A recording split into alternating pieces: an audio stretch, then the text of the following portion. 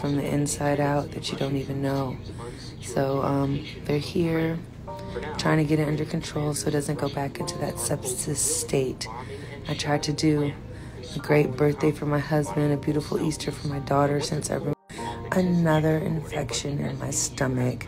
So you know how you guys been dragging me talking about oh her stomach looks so swollen, she's so botched.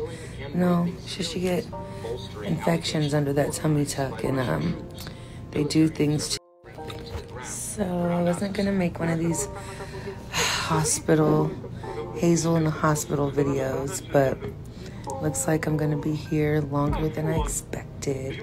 This is my second day back in the ER for we also desire when it comes to our beauty goals, you know?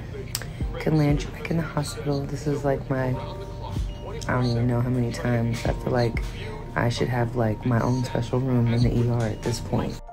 In closing, um, I'm just trying to be honest with my dolls out there and all the people who are interested in tummy tucks and plastic surgery and you know that instant gratification that last year.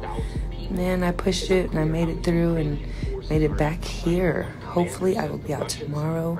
My birthday's next week. I'm not missing the bahamas for nothing because i um so you know pray for me or don't. Um just cut the negativity out because a bitch don't really need to see it or hear it